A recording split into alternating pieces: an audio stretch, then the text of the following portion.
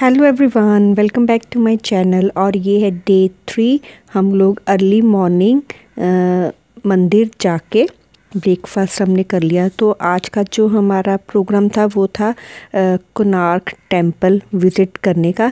तो हम लोग होटल से जल्दी निकल पड़े और रास्ते में ये एक सैंड आर्ट म्यूज़ियम पड़ता है तो उसे हम देखते गए। ये काफ़ी सुंदर सैंड आर्ट म्यूज़ियम है। अगर आप कोई पूरी जाए तो इसे बिल्कुल भी मिस ना करें और हमें वहाँ के ऑनर तो नहीं मिले बट वहाँ पे जो आ, उनके एम्प्लॉय थे उन्होंने हमें बताया कि इसे एक सैंड आर्ट को बनाने में पंद्रह दिन लगते हैं और ये पंद्रह दिन के बाद फिर ये नई सैंड आर्ट बनाते हैं और और डेली इस पर पानी डालते हैं ताकि ये सेट रहे।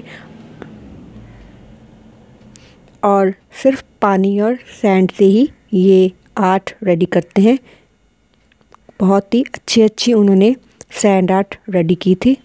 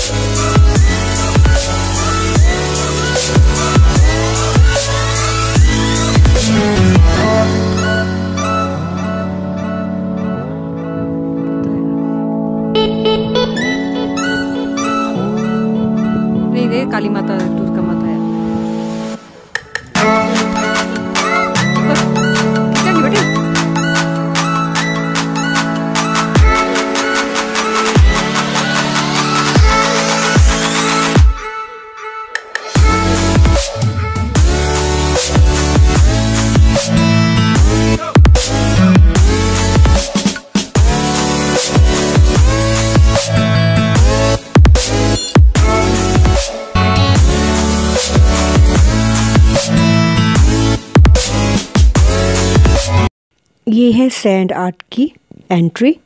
बाहर भी डिस्प्ले पे सैंड आर्ट की पिक्चर लगाई हुई है। इसकी एंट्री टिकट है थर्टी या फोर्टी बिलो हंड्रेड ही इसकी एंट्री टिकट है।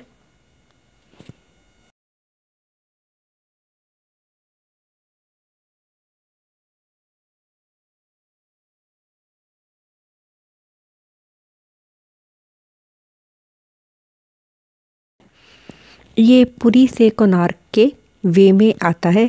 फिर उसके बाद हम निकल पड़े कोनार्क टेंपल के लिए। वहाँ का व्यू काफ़ी अच्छा था रास्ते का। बहुत ही अच्छी सिटी है क्लीन है। और ये है रास्ते का व्यू।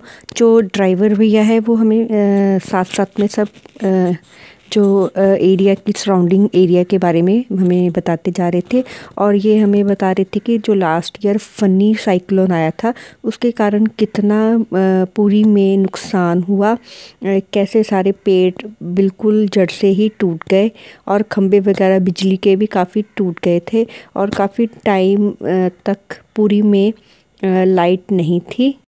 हमारे जो ड्राइवर भैया थे वो काफ़ी अच्छे थे। उनकी ही हमने ड्यूटी लगाई थी, जो भी रास्ते में अच्छी चीज़ आती है अच्छा कोई प्लेस आता है तो वो हमें वहाँ लेके जाएँ।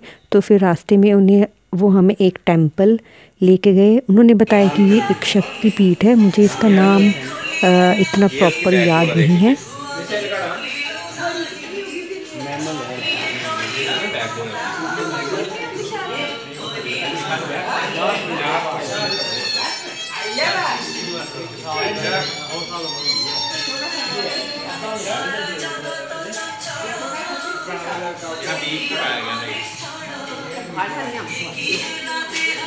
एक्चुअली थोड़ी सी लैंग्वेज प्रॉब्लम थी।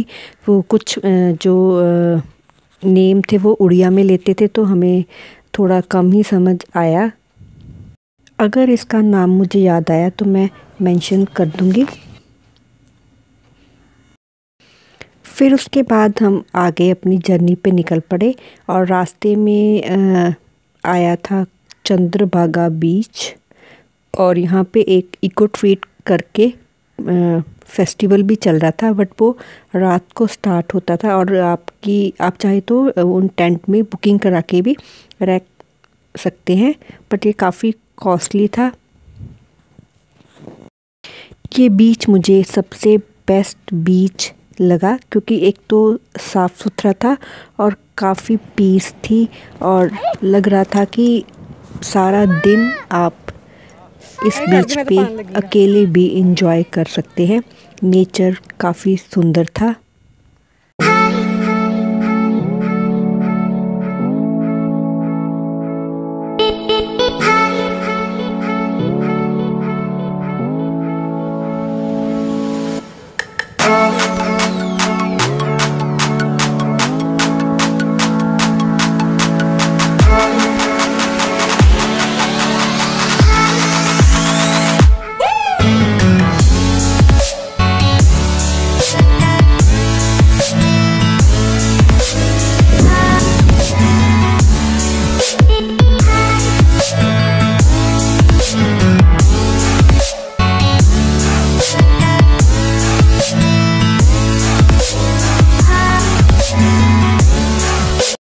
बिल्कुल कोई डिस्टरबेंस बिल्कुल नहीं थी। आप चाहे तो अकेले भी इंजॉय कर सकते हैं। और इस बीच से हमें बिल्कुल भी जाने का मन नहीं कर रहा था, क्योंकि काफ़ी सुंदर, शांत बीच था। ये मेन चंद्रभागा बीच नहीं था। आगे थोड़ा दो तीन किलोमीटर आगे चल के मेन चंद्रभागा बीच आता है, जहाँ पे मार्केट वगैरह भी लगती है।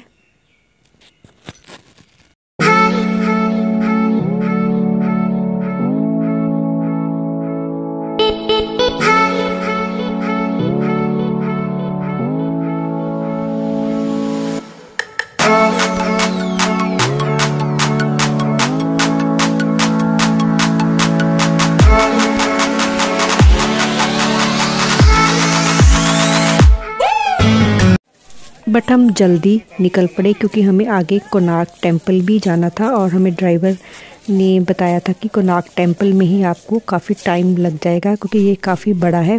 फिर हमने वहाँ पे जाके गाइड कर लिया था और उन्होंने हमें सारी डिटेल इस टेंपल के बारे में बताई। अगर आप वहाँ जाएँ तो आप गाइड ज़रूर करें। क्योंकि गाइड वगैरह को सब इन्फॉर्मेशन होती है। हम लोग अगर जाएँ तो वैसे ही विज़िट करके आ जाए, क्योंकि उनको सब डिटेल में पता होता है। और उन्होंने हमें वहाँ पे जो सन टेंपल के पहिए थे, उनसे टाइम पता करना भी बताया।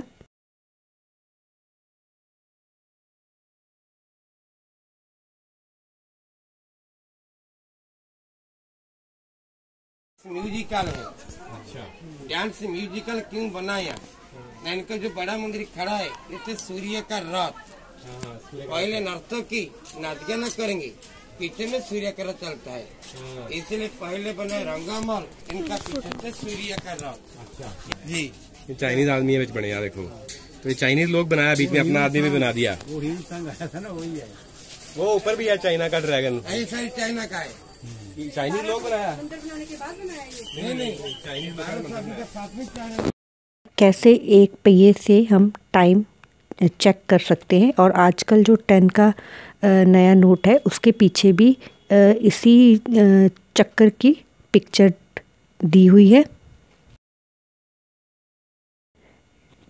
इस टेंपल को एक्सप्लोर करते करते ही आपको पूरा दिन लग जाएगा।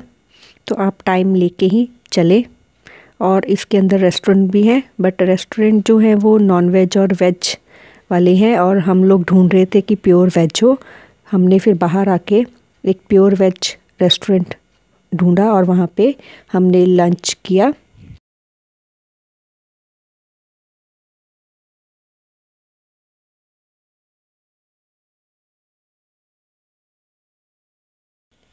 गाइड ने हमें पूरी इसकी हिस्ट्री बताई कि ये मंदिर जो है खंडित हो चुका है।